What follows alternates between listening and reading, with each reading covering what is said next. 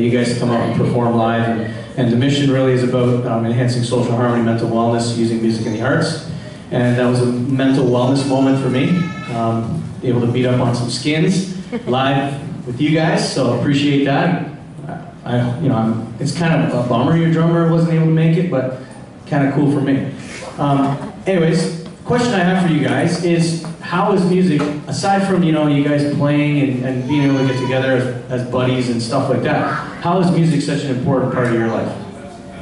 You want to answer that? You want some time to think about that? Or are you good? You want a sec? Who's ready? Come on, sure. You're ready. You're ready. Charlie's ready. Come on. You ready? Yeah, he's always good. Guys, I'll answer.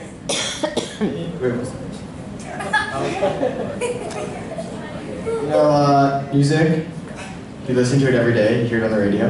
Oh, yeah. It's, that's every day.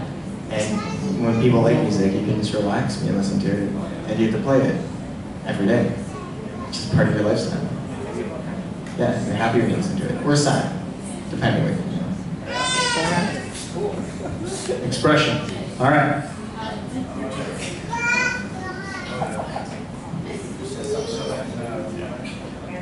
Well, it just makes everyone like want to get together if they listen to it like with their friends or so. It's just a nice bonding experience to listen to music with a bunch of people.